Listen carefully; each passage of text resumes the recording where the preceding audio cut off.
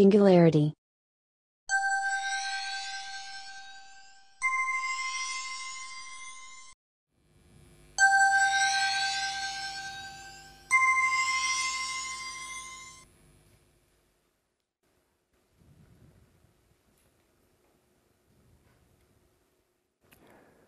4つの風から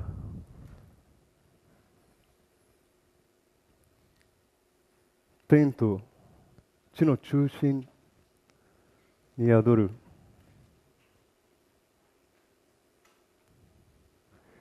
皆様の心を呼び出します。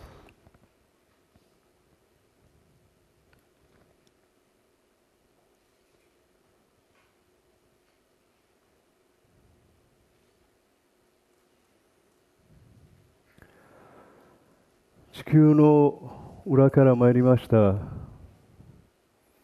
ブラジルの高橋一郎と申します。今日はよろしくお願いいたします。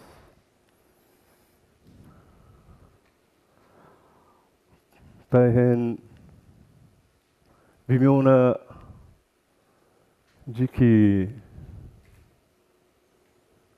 指数関数exponential な複雑な状態の時に皆様の大事な時間心からパトリックの招待とともに感謝いたします。簡単に古代技術技術の感覚を分かち合いたいと思います。僕の両親は160年代日本からブラジルまで船で渡った移住者でありある日本から去っていく今の時代の日本人の世代です。そこで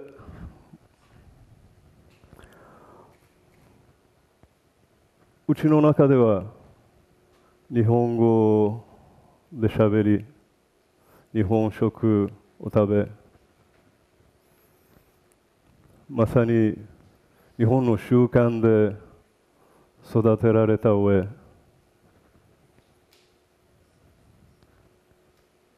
外側では全く違う世界のブラジルでした。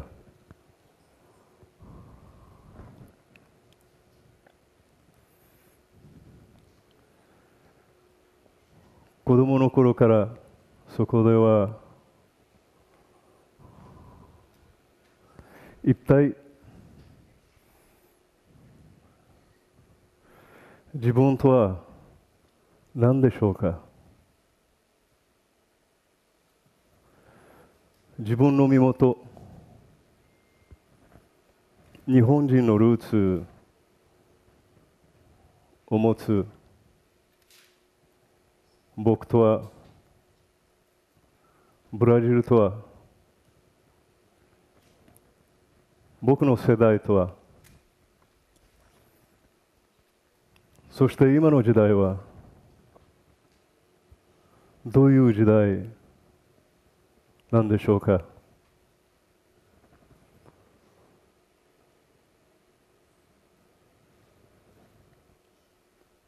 皆様ここで自分を完全に理解している自分の心を理解している方はおられますか？手を挙げてください。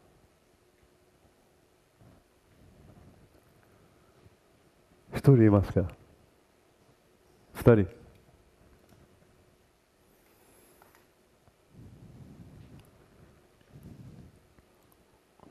親父のご縁で。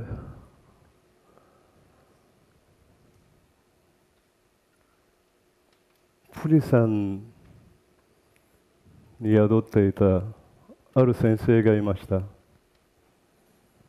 僕が6歳の時にブラジルで出会ってそれからずっと僕の精神の精神世界の先生になるっていうことを知らず付き合っていました。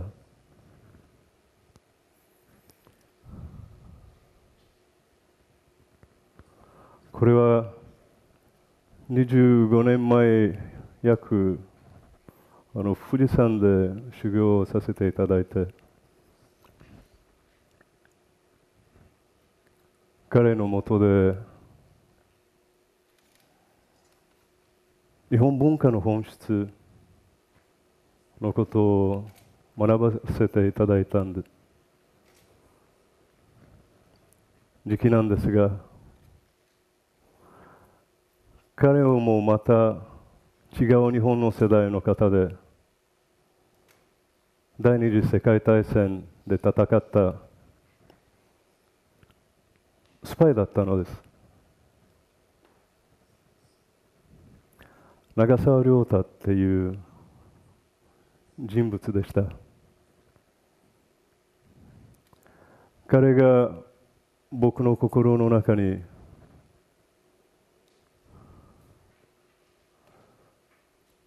伝わった日本文化あれからだいぶ変化したっていう感じがします。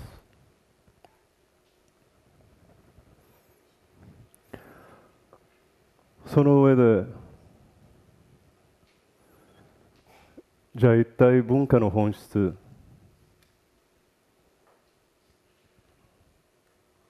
アイデンティティ身元言語心の本質。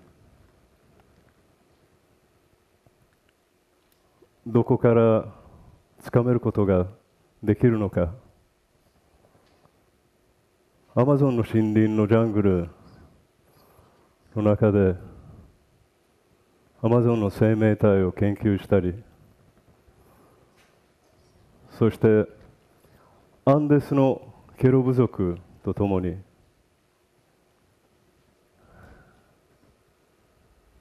何千年と伝統的な部族と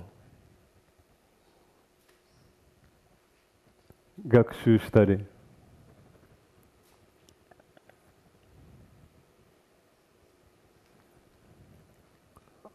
心の源を求めてたのです。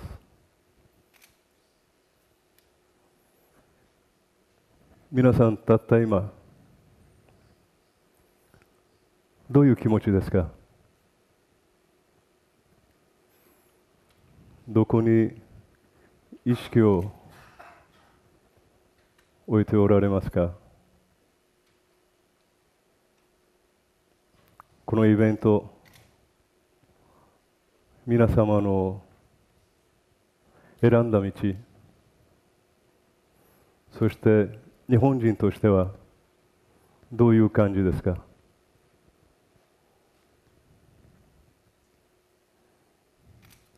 アンデスからヒマラヤシャーマンの文化にたどり着きました。そこでは神々が舞い踊る。純粋な心。そして宇宙に関する。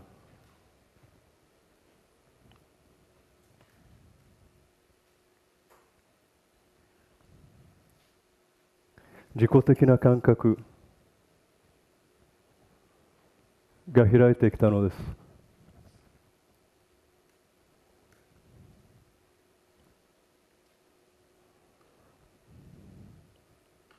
メディスンブリッジっていうふうにその運動を名乗り始めて古代の技術を補助して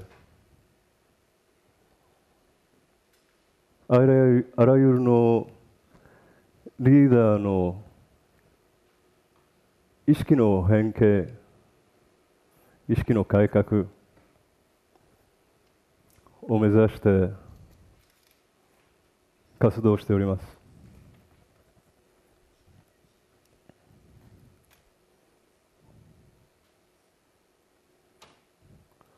これがあのネパールの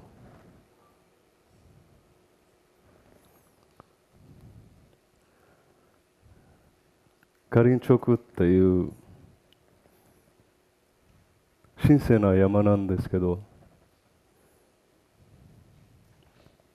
ヒマラヤからアンデスまでアマゾンから富士山までの発祥を文化的に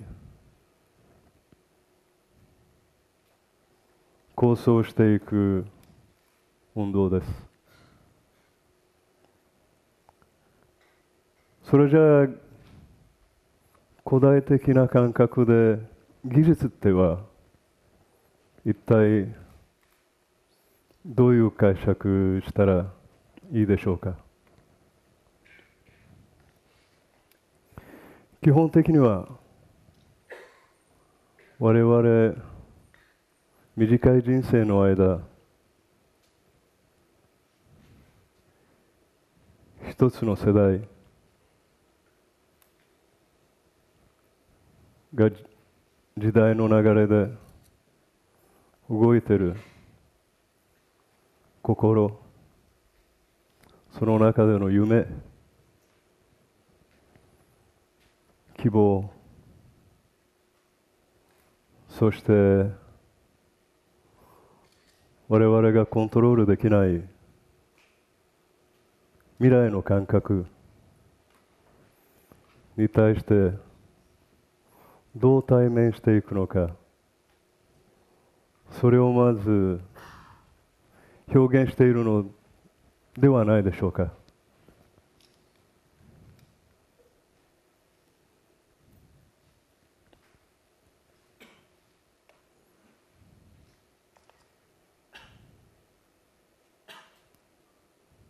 根本的には全ての技術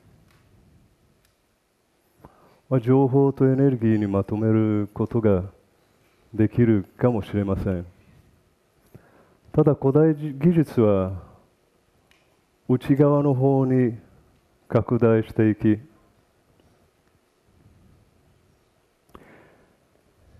現代技術は外側にとらわれた意識の感覚の技術ではないでしょうか。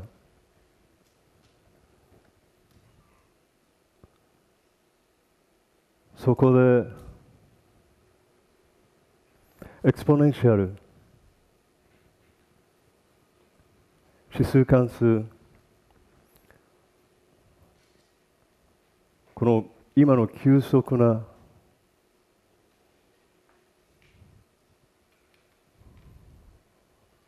時期に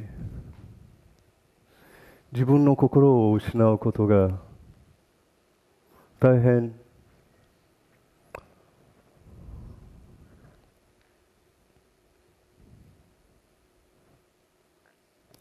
簡単なことになります。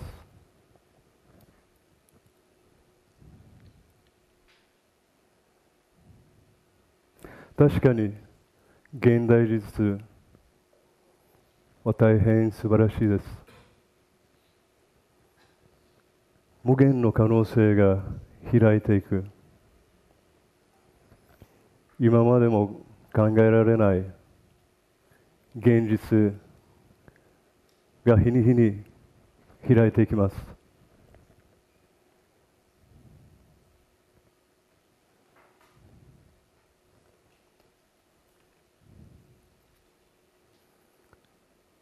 大変素晴らしい。物質の世界の探求。宇宙への探求。我々が人類として。新しい身元が現れてしまう状況です。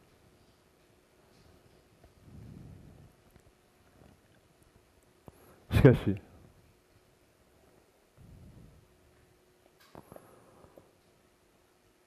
それは無意識的な現象で我々の脳の深い恐怖感につながるところがあります。日に日に心の底に不安定の人が多いかもしれません。特に今の日本の状態海外からの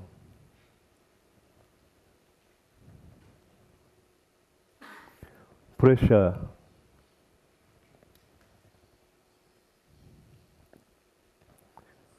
福島。大震災。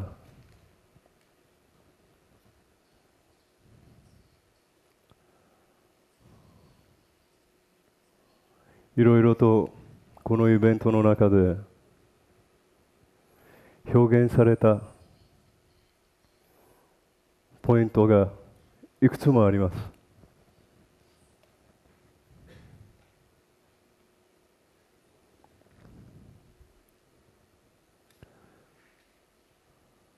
では日本人とは？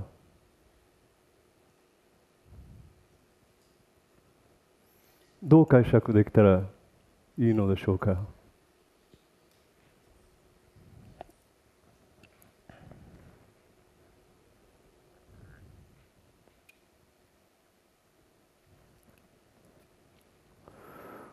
僕が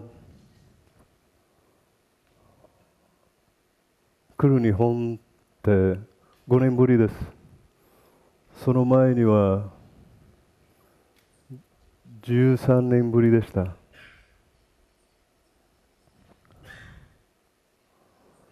僕が日本語をしゃべるきっかけは両親としゃべる時です。日常の世界では大体スペイン語です。それほど日本的な感覚から日常的には離れていました。そして再び日本で日本語をしゃべり出しますと特にやっぱり翻訳しにくい言葉が多いっていうことを認識しました。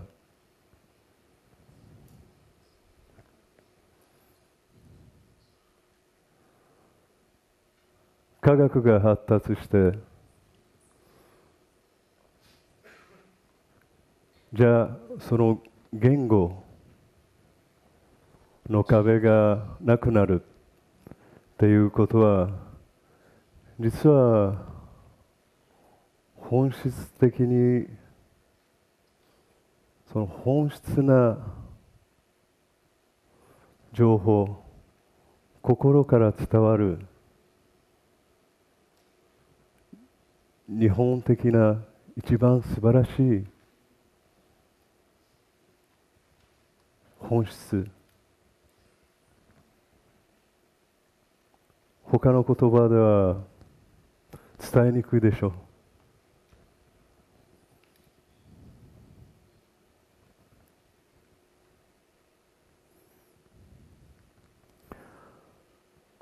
そこで古代技術っていうのはある時間と空間の感覚全く違う感覚です。現代技術が発達するところではその古代技術は実はタイムレス。我々の感覚の時間と空間の違うところの意識の次元からつながるところです。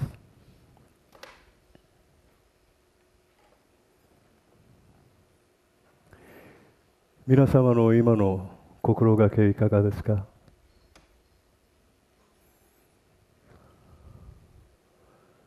気持ちはいかがですか？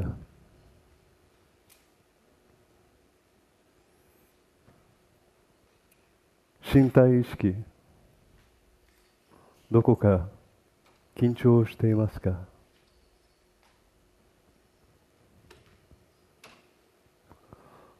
心の中ではどういう天気ですか？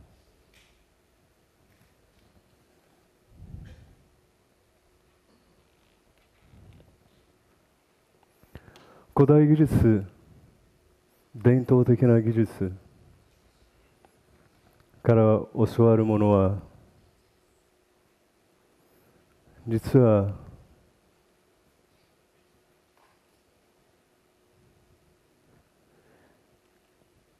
シンプルですけど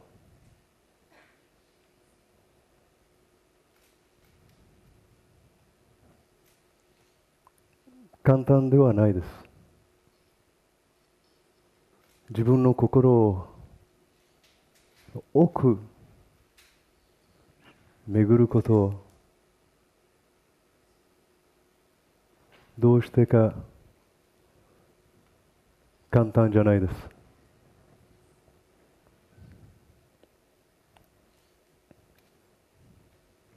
しかし内側から。外へと表現するものです。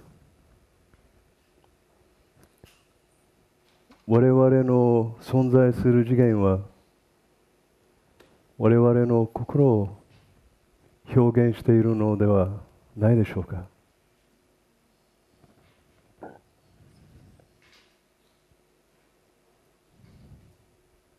そこでもし古代技術我々の心の進化を指数関数的に exponential に進化できれば今の複雑の時代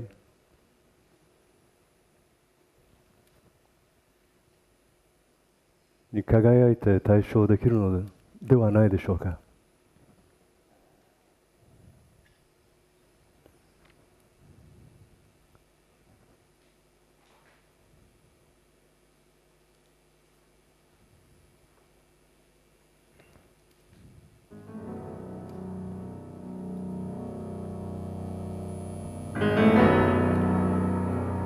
皆様の心の中を意識してください。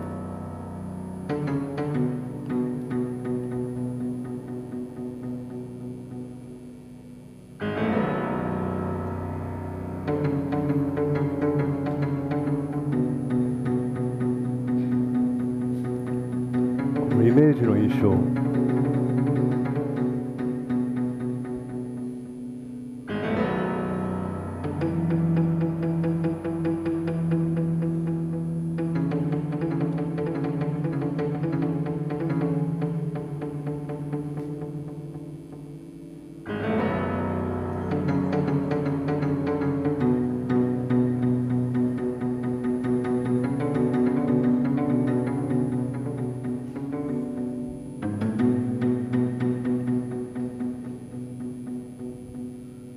今見て聞いているイメージとどういう関係ですか？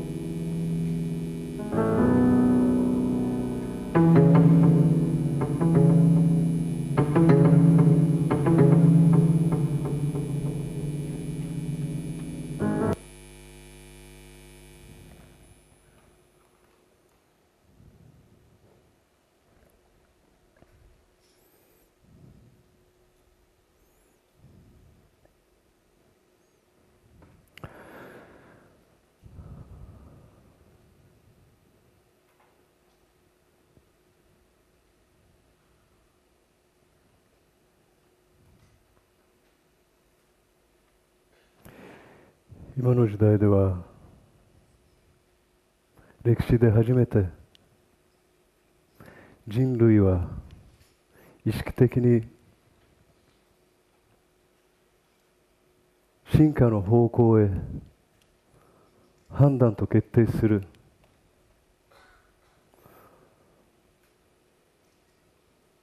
それをできる状態になったなってしまったのではないでしょうか。これからの日本人の役目は何でしょう？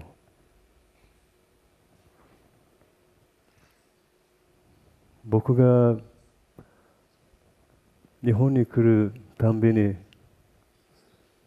一番感動するものは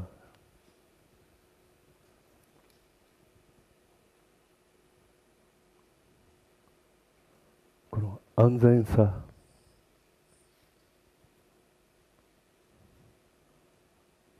安心感。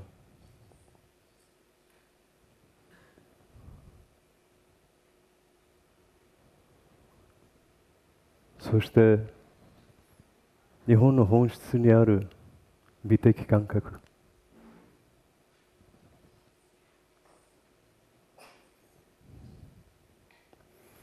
それが火の元の国の本質ではないでしょうか。